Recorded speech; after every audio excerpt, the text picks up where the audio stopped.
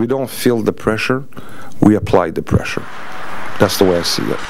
The waiting is over. The Canadiens have spent the last three days practicing at their facility in Brossard, and now they're ready to start the first round of the Stanley Cup playoffs against the Ottawa Senators Thursday night at the Bell Center.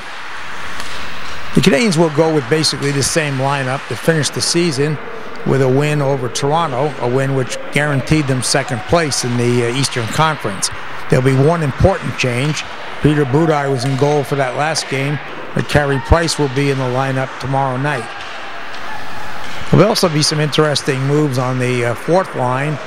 Uh, Brian White, who played on uh, Saturday night and played very well, will be in uh, at the center on the fourth line in place of Jeff Halpern. Halpern's a little better in the faceoff circle, but they Canadiens expected uh, a physical series, and they feel that White is more suited for that. Uh, they'll have a, a lineup, uh, fourth line of uh, Moen, White, and Prust, and the, the, idea is to put some pressure on the uh, on the Ottawa Senators.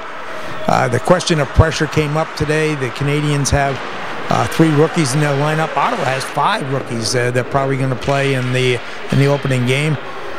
Michel Therrien was asking if there was any pressure on the Canadiens.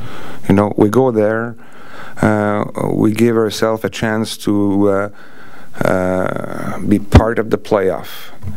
And that's a good thing. After that, the next goal, we want to work to get the home ice advantage. That's another thing we think it's important. Uh, but there's no pressure, you know. Pressure is coming from both sides. Uh, yes, you know, you want the pressure is to perform well and I'm sure they got the same pressure. They want to perform well as uh, as they're supposed to do, and this is what people expecting. This is going to be a long and tight series.